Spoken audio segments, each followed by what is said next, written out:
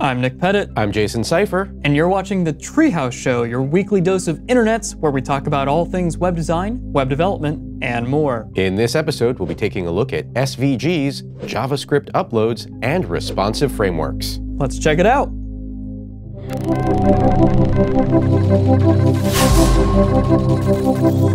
First up is a primer to front end SVG hacking.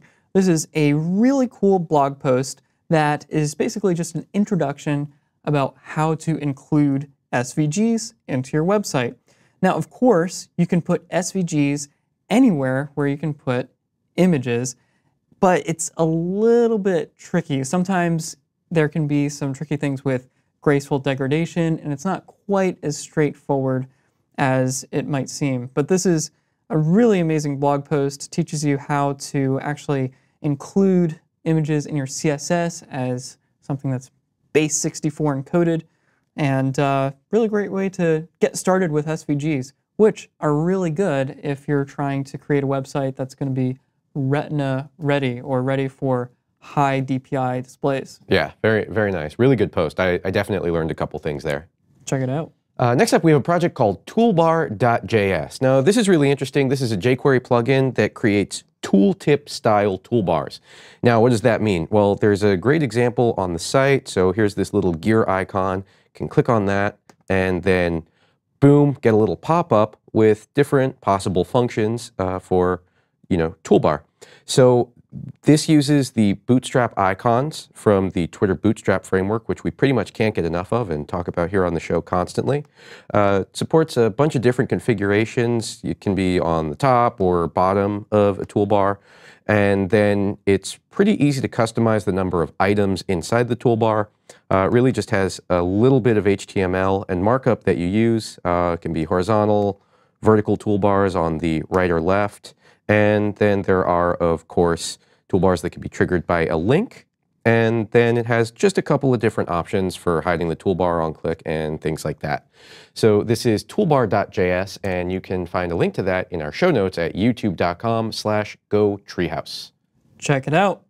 Next up is a really cool project from Intridea called Stately, which is basically an icon font that allows you to create maps of the United States. So let's say that you wanted to make a graph of the 2012 presidential election, or you wanted to show where all Intrideans are throughout the United States.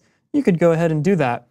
You can go ahead and scroll down here, copy and paste this markup into your page, and you can go ahead and style stately using uh, a couple different styles here. They give some examples, and you can, of course, style individual states. So this is pretty useful if you just want to quickly generate a map of the United States and show some data about different states. Of course, you can't do this for the entire world. It's just useful if you live in the United States or you want to show data about the United States, but nonetheless, it's still pretty useful. Yeah, pretty cool how you can customize it too, just via CSS. Yeah, yeah, it makes it really simple. You don't have to install any kind of crazy JavaScript, you know, mapping plugins or use Google Maps or anything like that. It's very simple and straightforward. Just just have to make sure that you have your list in order That's right. and, and don't leave any states out.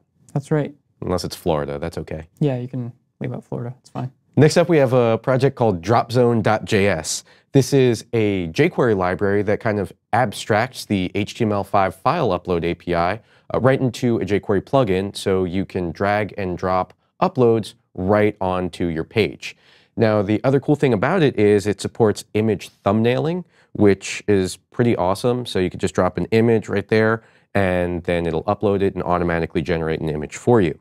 Uh, it's very, very easy to use, and you just include a couple of JavaScripts, and then you can also add just a class to your different form fields for files and dropping them, and then it automatically creates it. You can also create the drop zones programmatically in a JavaScript tag. Uh, one of the really nice things about the plugin is it just abstracts everything away for you. So you only need to remember one API and not bother with just a ton of different JavaScript in your page. So um, check that out. Nick, have you seen the new show, The Real Developers World? I, I have not, but I have a feeling that we're going to see a clip of it right now. That's true.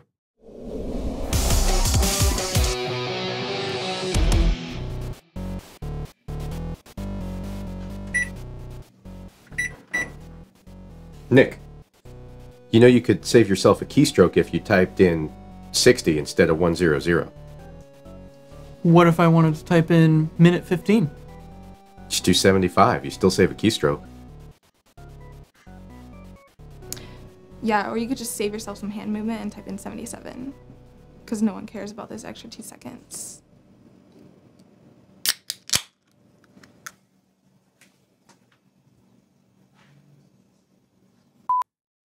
I mean, she's right. I've been wasting hand movement my entire life.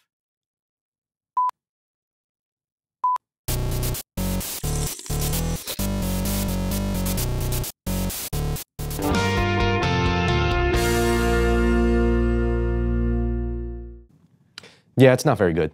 No, it's, that was actually terrible. Yeah. What's next? Next up are labels in input fields, and apparently it's not such a good idea.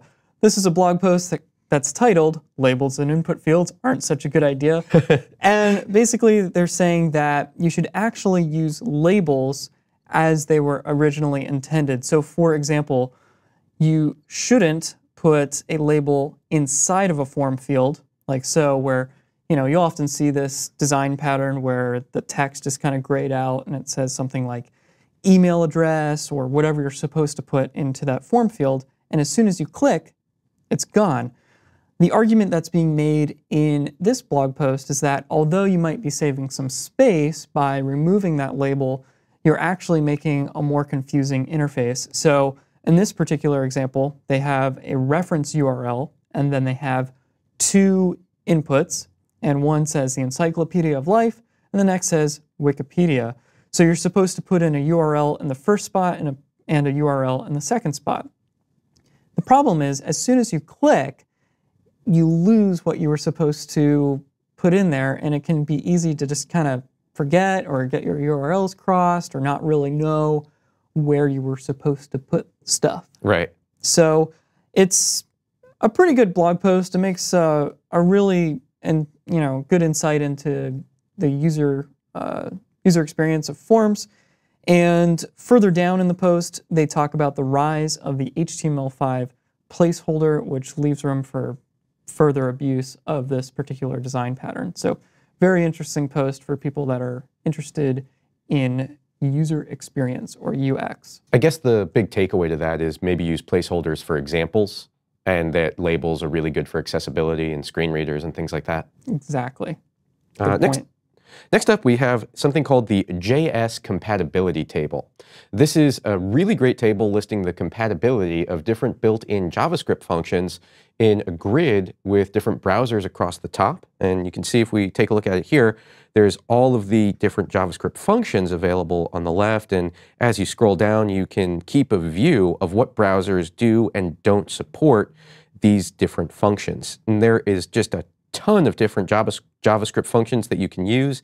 And then you can even filter it by typing in something like geo, and it'll show you a list of all the different browsers that support that, uh, although that didn't exactly work for me right there. But trust me that it actually does later. I trust you, Jason. You can configure all the different browsers that you want at the top of the screen, which is great. Um, and yeah, we'll have that in the show notes as well. Pretty cool. And it's really useful if you're developing like a JavaScript library or something. Yes, definitely. I thought tables were bad, but apparently tables are, are now good, They're good for tabular data. according, according to Jason. All right, next up is Sassaparilla. I think I'm saying that right. Sounds like a parade. Yeah, or or you know a root beer or something. It says start your next project faster, or start your next web project faster with Sassaparilla. Now this is basically some Sass files that you can go ahead and include in your website to start a project faster, exactly as it implies. Now, looking at their documentation on Git, they say that this is, in fact, not a boilerplate or a theme. I kind of disagree with that a little bit. It's it's definitely not a theme, but it certainly is some nice default styling to go ahead and get your website going, which I feel like is exactly what a boilerplate is. So it's okay to call it that. And the other thing that this does that's really nice is it, you know, sets up your fonts just great. I mean, it it says here that uh, you know a method to produce the perfect book. You know, they give this awesome example of um, typography, uh, typography, and uh, Sassaparilla is just great at that. Nice. Um, I think the the big draw here is that it lets you work in pixels in your Sass files, but it gets trans translated to EMs when it's compiled. Yes, which is uh, super important. Yeah, that's going to be great for your responsive sites. Exactly. So uh, I think that's all we got for today. If you want to get some background on what we talked about, check out our show notes at youtube.com slash gotreehouse. And who are you on Twitter? I am at jseifer. Can't forget about that. I'm at NickRP. And of course, if you'd like to see more videos like this one about web design, web development, mobile development, or business, be sure to check us out at teamtreehouse.com. See you next week, and thanks for watching.